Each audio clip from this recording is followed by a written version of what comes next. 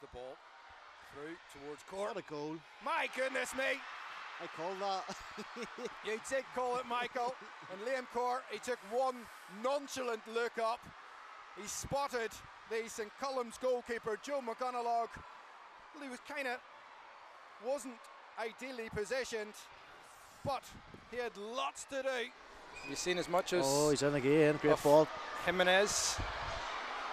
Inside the 18 yard box, Jimenez! Whoa! How has he put the ball in the net from there? Surely the ball looked to be running out of play, and he took it on right footed. I'm really not sure how he's done that, but in any case, Integrated College Dungannon have gone 2 0 up on St Columb's Derry, and it's a long way back for the holders now. 68 minutes on the clock, and what a sublime finish! A couple of challenges coming in from Dungannon players. And two on the far side. Here is McFeely. Lovely. Does a dance through! And there's a goal back for St Columb's.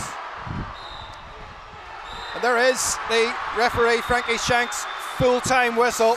And it's a first ever Danske Bank Schools Cup final success at under 18 level for Integrated College Dungannon, who beat the holders St Columb's Derry by two goals to one.